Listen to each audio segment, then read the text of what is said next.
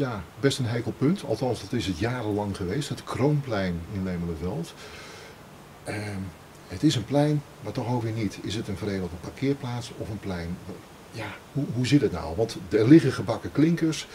Het beeldje Romeo en Julia dat staat er. Maar ja, wat is het nou eigenlijk? Ja, ja het, dat is een moeilijk te beantwoorden vraag. We hebben, eh, we hebben flink geïnvesteerd in dat plein. We hebben het mooi opgeknapt. Dat is, dat is een samenspraak gebeurd met, uh, met mensen uit Lemelenveld zelf. En er is een commissie voor opgetuigd, plaatselijk belang is daarbij betrokken geweest. En daar zijn we, daar zijn we lang, uh, de, mijn pub wordt wakker geloof ik. Maar goed, daar zijn we lang mee, mee, mee aan de gang gegaan. Ja, ik vind dat het heel mooi is, maar het is niet de levendigheid die ik er graag zou willen zien. Het is denk ik nog te klinisch. Nou, dat, we hebben een onderzoek gedaan, we gaan ook aanpassingen doen daar mhm. om het te verlevendigen.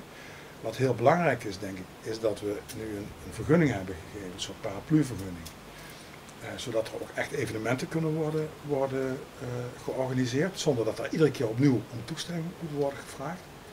En uiteindelijk is dat natuurlijk waar het om gaat. Dat zo'n plein gaat leven, omdat de mensen dingen op dat plein doen. Het plein is een ontmoetingsplaats. Ja. En als het geen ontmoetingsplaats is, als mensen niet s'avonds denken van ik loop even naar het plein toe, of ik maak een ommetje en ik kom daar misschien iemand tegen, ja, dan is het geen plein. Dan is het inderdaad een parkeerplaats of iets anders. Openbare ruimte. Uh, whatever. Het, het, plein moet, moet leven. En, en dat doet het nog niet. Maar ik denk wel dat dat gaat komen de komende jaren. In ieder geval iets wat het gemeentebestuur graag wil.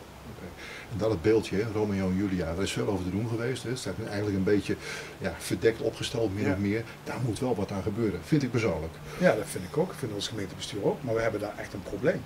We zijn er al een jaar, anderhalf jaar mee bezig en het schijnt dat je daar alleen maar iets mee mag doen als de kunstenaar het goed vindt.